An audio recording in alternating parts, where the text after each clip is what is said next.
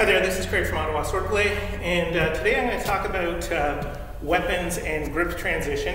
And uh, I've got one of our training spears here right now that I'm going to start with, and uh, I want to talk about that and compare it to some of the other weapons that we use.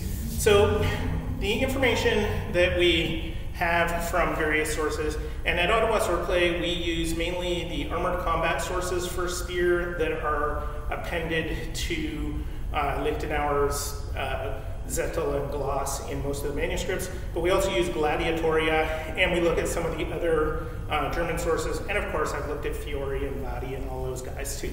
Um, but in the uh, southern German sources that we have, we tend to see in armored combat anyway, a grip kind of like this, where the um, right hand for a right-handed person is uh, near the butt of the spear, but not all the way there, and then forward hand is like shoulder width or a little bit wider ahead of that. Um, Peter von Danzig's armored combat section specifically tells us as well that you can use, he doesn't say pool cue, but you can use the spear kind of like a pool cue and slide it through your lead hand. And he talks about tucking the spear butt into your armpit once you've lodged the point in the other person and stuff like that. Um, but the grip uh, tends to be here, and we do not see any indication that I'm aware of of switching to a grip like this in the same position on the other side. Uh, we do see the spear switch to the other side, not very often, and mostly in our secondary sources. So why? Why is that, that we seem to see the spear on one side? Well, one of the things is that it is a unified system. The spear and the sword work kind of the same way, uh, or at least that's my very strong belief. So one of the things that we do see in our spear sources from time to time is that they bring their forward hand back to here in a cross-handed grip, and then from here they can do a very strong strike with the spear. Um, but this looks like the longsword in an ox guard with a strike from ox. Uh, so since our sources for spear are mostly armored combat, what we're seeing is the equivalent of half swording or the armored hand when we look at this spear grip. And this is our fighting with the spear long, the way that we would fight with the sword long against an unarmored opponent.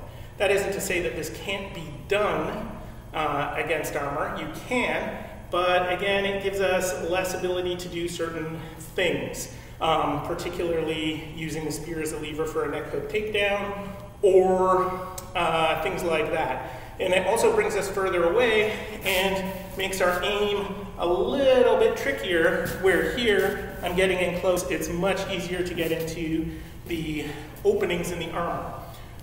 I suspect that if we had some earlier sources for Spear uh, related to our system, they would include a lot more stuff like this. Now, we do see some other interesting things in Gladiatoria specifically for Spear that uh, I'm going to mention.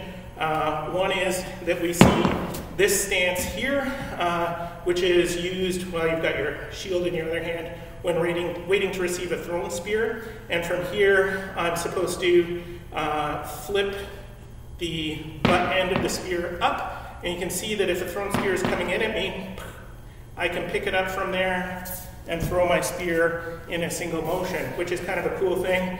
We also have the um, spear like this, where when an attack comes in, we can clear anything that comes through and come underneath uh, and stab in with the spear point like that. One of my absolute favorite little tricks with the spear. Um, but I really believe that as much as I'm sitting here sliding my hands all over the spear and moving it like this, that one of the principles that they don't tell us that they were working with is that you only move one hand at a time and you don't actually necessarily slide around very much. So we have this pool cue kind of thing, but if I'm doing a spear transition, I keep one hand firmly where it is and move my other hand to the same place. And we do exactly the same thing with other weapons. So I'm going to get my sword.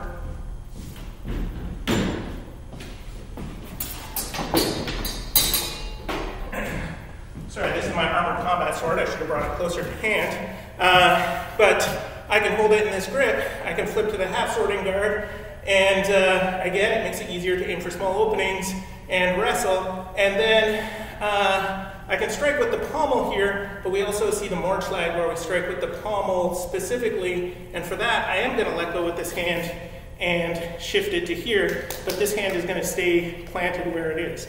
And I believe that, especially in armor, anytime that you're doing complicated actions, shifting things in your hands, you're going to risk dropping your weapon, which we don't want to do by accident. There's lots of reasons to drop your weapon on purpose, but we want to make that choice, not have it made by our own clumsiness.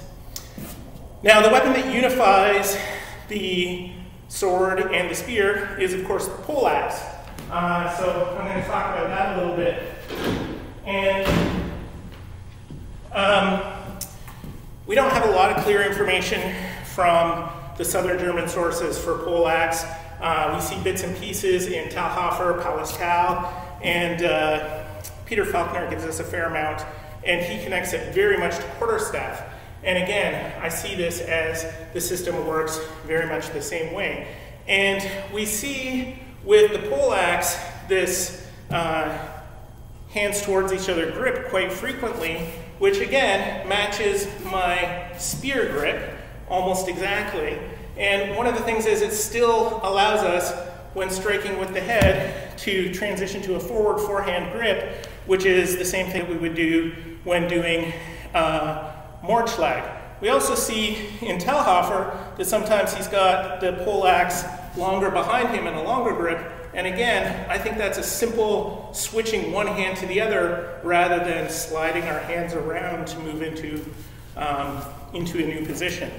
So that's all I'm going to say about grip transitions uh, for the time being. I really strongly feel that they all go together and that it is a good idea to keep one hand firmly gripping the weapon that you don't want to let go of when you're trying to switch how you're holding it and really only move one hand at a time, no matter what you're doing, because it's too easy to let go, as I just almost did as an intentional demonstration of my point. All right, thank you very much. I hope this was fun.